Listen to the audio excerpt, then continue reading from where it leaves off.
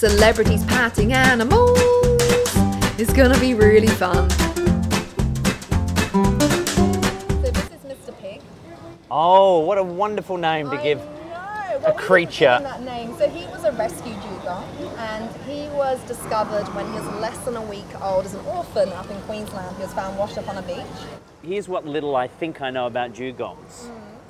Are they actually related to elephants? True or false? True. So the closest land relative to And a dugong. is that a fart, by the way? That's a fart. He's- Excellent, he good to know. right now. Great to know. Good. He burps Good, and great.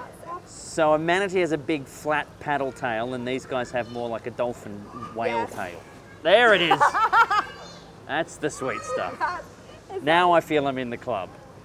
Good boy. Is that what you wanted? right, right. That was the impatient way of saying I want some good stuff. That was it. Feed that was me. It. What I've been doing is all week I've been showing him your uh, photo and getting him to target your face. And I'm so happy. Big fan. I'm so happy my training paid off. No, he's quite cheeky though. This is a.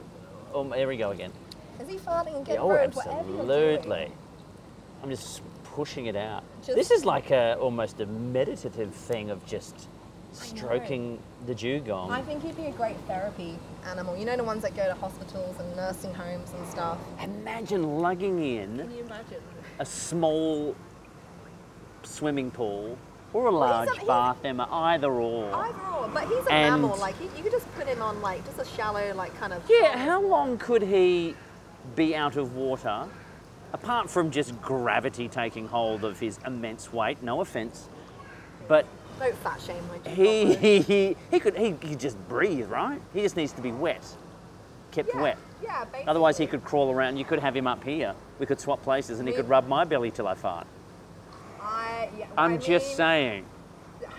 I'm willing and able. Are you willing and able? Oh my gosh, this is this show's gonna turn into something different. Animal panning celebrities. While the celebrities fart, Farts. there we there go. we go. That's, there we go. that's the well look.